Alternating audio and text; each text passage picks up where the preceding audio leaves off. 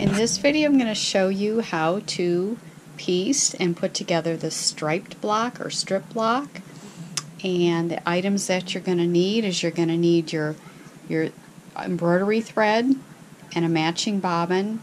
You're going to need an embroidery bobbin thread and water soluble, Vanish Light water soluble thread. You'll need a small piece of uh, your lighter color fabric.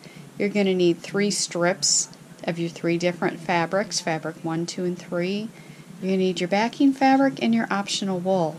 And of course I already have my stabilizer and the hoops, so let's go to the machine and stitch this out. Okay, I'm all step set up for the first step, which is water soluble thread in the needle, embroidery bobbin thread in the bobbin, and we're going to sew a placement stitch so that we know where to put the wool batting.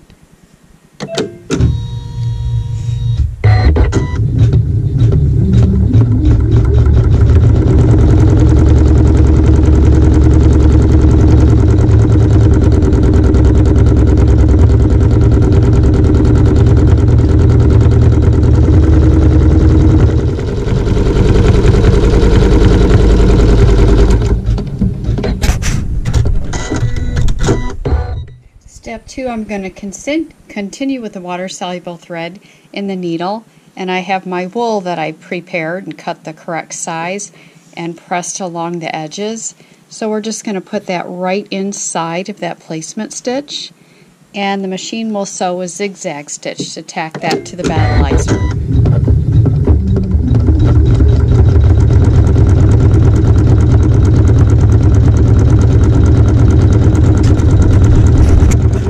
step three, we're going to sew the pattern onto the block so we know where to place our fabric. And since I have the wool in there, I have my presser foot raised to its highest position. And it wouldn't hurt to also, as the foot is moving, to just push the wool down ahead of it, like that.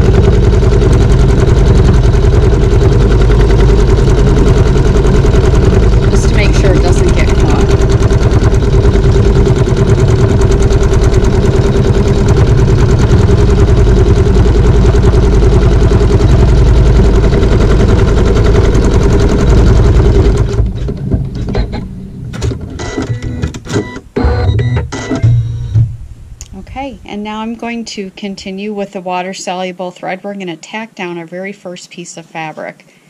And we're going to use a small rectangle as the first fabric that we're going to use. It's going to be placed here, and another identical fabric, same size, will be placed up here, but that's later on in a few more steps. So for this step, we're just going to take our fabric, we're going to lay it right side up, we're going to lay it a quarter of an inch over both of the, the lines for the pattern because we do need to have that in the seam allowance. So we're just going to lay that on there and still with the water soluble thread we're going to sew a tack down stitch.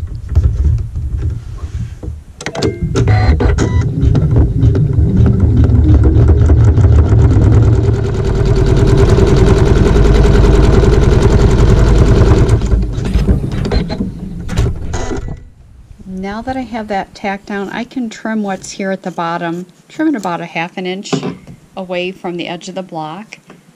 And now from here on out, all the different sections where the stripes are going to be, you can pretty much pick and choose where you want any one of your three fabrics. The only exception would be this is going to be that small rectangle and also up here. So I can either choose my tan colored floral or my pink. So I think I'm going to try do the tan. And we'll do that first. And the only thing I haven't done is I have not changed my thread to a regular thread because this is a seam. So water soluble thread is great for the outside edges. But bear with me while I get threaded up.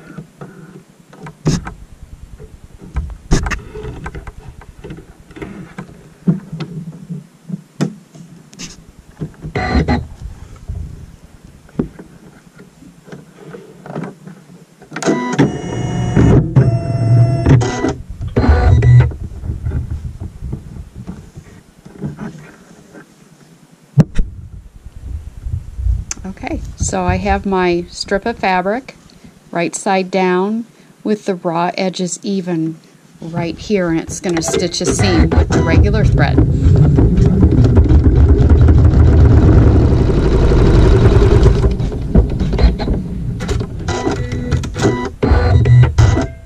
And step six is a tack down stitch so I'm going to flip my fabric and I'm going to finger press it and smooth it out and it's going to sew a tack down stitch using the regular thread.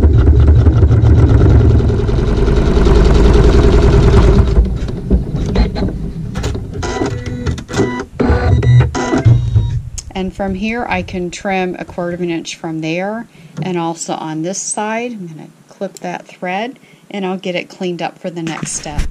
And the next step is a seam, so I have my pink floral and I'm going to lay it right side down, raw edges even, and sew the seam.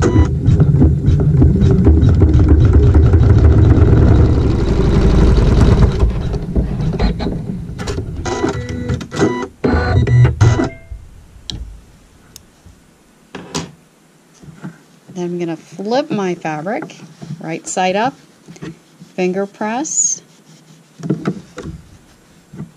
smooth it out and sew a tack down, still using the regular thread.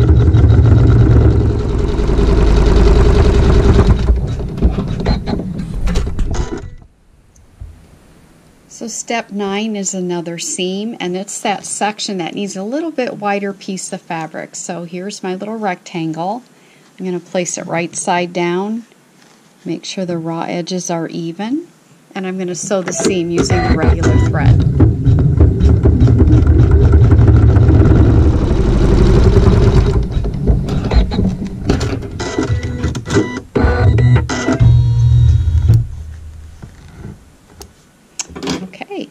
Now I'm going to flip my fabric right side up, finger press and smooth out, and the machine will sew a tack down stitch.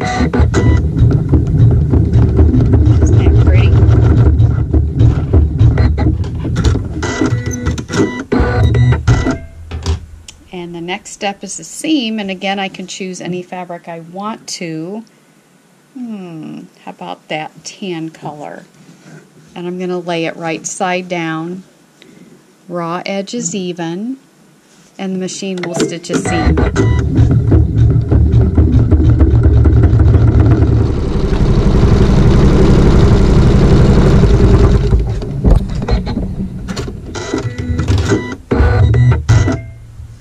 And then I will flip the fabric right side up and finger press and we will sew a tack down using the regular thread.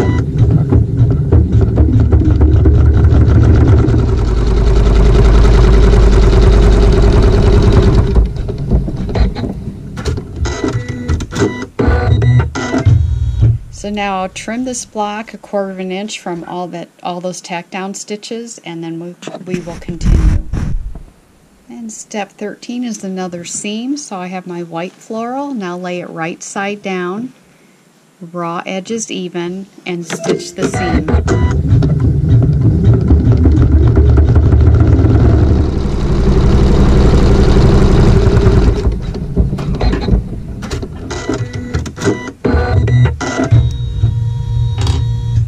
Alright, now I'm going to flip this fabric right side up, and I'm going to finger press and we'll sew some tack down stitches, still using the regular thread. The tack down stitches will only be stitched here and at this side of the, the strip. We don't stitch it on the outside block because we're using regular thread. That way we don't have to do a thread change.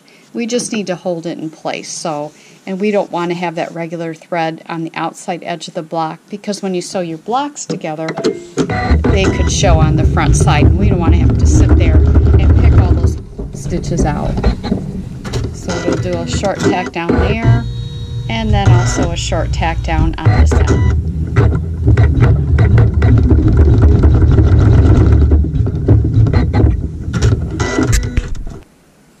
Step 15 is another seam for the piece of fabric that'll go here. So I think I'll use the tan. and right side down with the raw edges even. And every one of these strips I've made sure that there's an, an ex extra amount that goes out past beyond the block.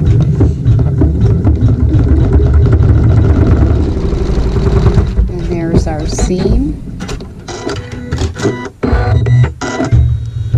And then we'll flip the fabric right side up and sew the tack down. Finger pressing.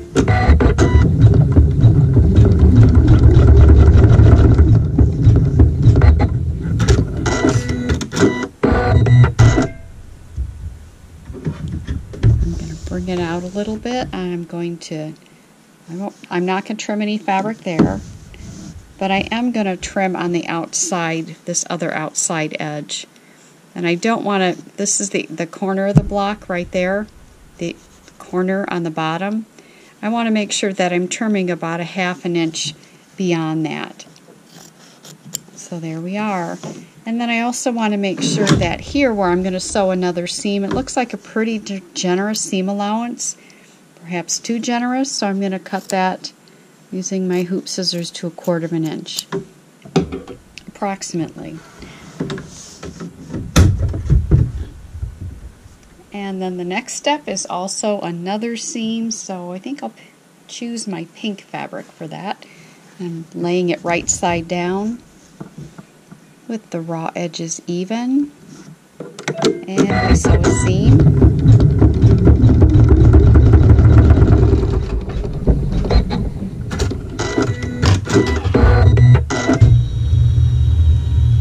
Okay, so here we're not going to sew the tack down for the corner. That will be done at the same time the backing fabric is added, but I do need to flip it and then trim it. Make sure you flip first and then trim. Otherwise, you could end up, since it's a, a 60 degree angle, you could end up having trimmed in the wrong, wrong spot. So we're just going to let that stay exactly like that for now. And let's see, what color shall I go with? I think I'll do the pink again. So right side down, raw edges even. You guys are getting it, I'm sure, by now sewing the seam. Hook that thread tail.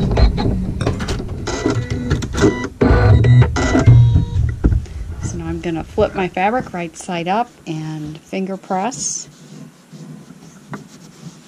And it'll sew a tack down stitch.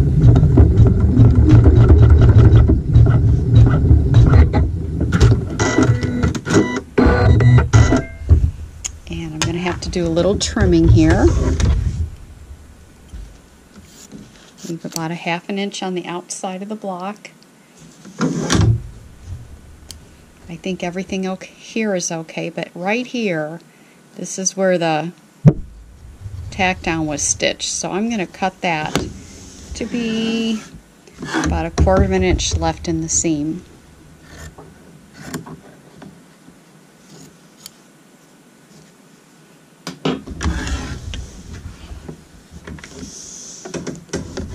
let's see what color do I want to go with. I think I'll use the white.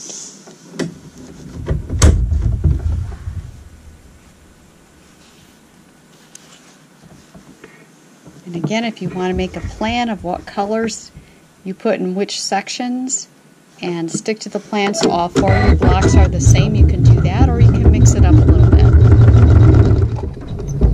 Just try and keep them all even there's my seam.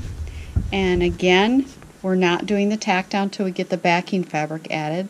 So we're just going to flip it, finger press it, and I will trim it right there.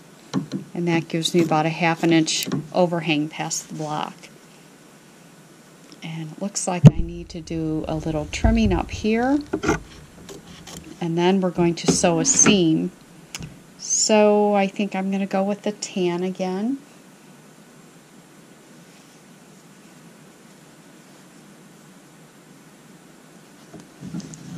So right sides down, raw edges even, we're going to sew a seam.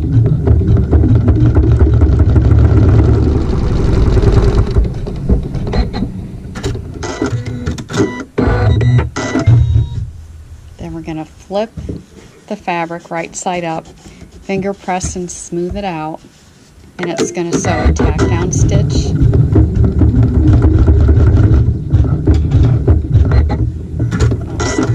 Tail to trim there. And I'll have a little trimming to do here.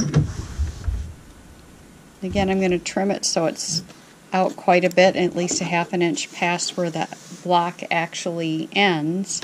And I have a somewhat generous seam allowance right here, so I'm going to trim that down to a quarter of an inch. And now I can do the seam for my final piece of fabric that goes on the front. I'm thinking pink. Right side down, raw edges even. We sew the seam. Now it's time for the backing fabric, but before that I'm going to flip this right side up and finger press the seam. And then I'm going to trim so I don't have this long piece of fabric hanging off here. I'll just trim it so it's at least a half an inch past the block. Okay, it's time to add the backing. This is the back of my hoop, so you can hopefully see the outline of our triangle and this is my backing fabric. I've sprayed this side with um, temporary spray adhesive and I'm just going to center that over the block. I'm going to look at all the different corners just to make sure I've sufficiently covered and have an even amount of fabric. I want to make sure we have that centered. So now I'll go ahead and put it back on the machine. I've switched to water soluble thread and we're going to sew a tack down to attach the backing to the block. Okay, so now that my hoop is flipped over, I did peek underneath, make sure you don't have any Dunlops. That's when your backing fabric Dunlops over and you stitch it on, and then you have to tear it all out. So for step 24 is the backing fabric. This is water soluble thread. I'm going to make sure I have a nice finger press right here on the top piece of fabric and we're going to sew the backing fabric on and it also tacks down our corners. So before we get to the corners I'm going to want to make sure I'm finger pressed real nicely.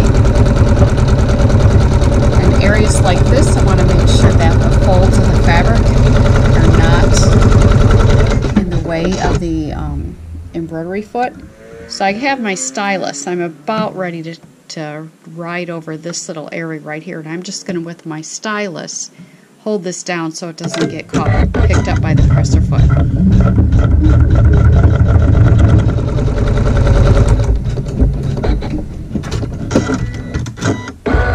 Alright, now we have our backing fabric on and everything tacked down on the front so now it's time to do the quilting. Since we're going to do the quilting, we need to match our needle thread with our bobbin thread. So I have a matching bobbin I will put in here. Bring that bobbin thread to the, bring it up. And I've already checked the back side of my hoop and my backing fabric looks good there. Can't see it in the camera at the angle we've got, but we're going to place the hoop on the machine and at this point, anytime after you've added your backing fabric, you're going to match your needle and bobbin thread. You're also going to turn off your automatic thread cutter. So let me go ahead and do that. I'm ready to go. And I'm going to do needle down, needle up. I'm going to bring that bobbin thread to the top. And by doing so, it'll make the back look a lot neater when it does the knot on the back.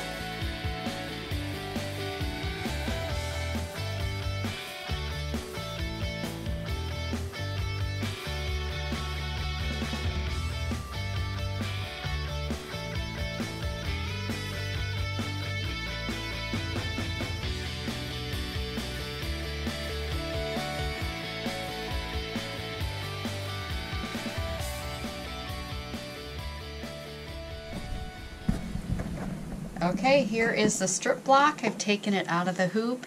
And to trim it, we're going to trim it a half an inch from the basting stitch around the whole block on all three sides through all the layers. So I'm going to use my trimmer by George. It's a perfect size for that. And I'm going to lay that half inch mark on the basting stitch and then cut it all off. There's side one.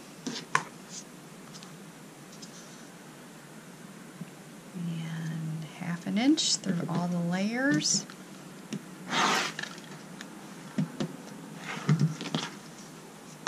It's such a cute block and I love this fabric.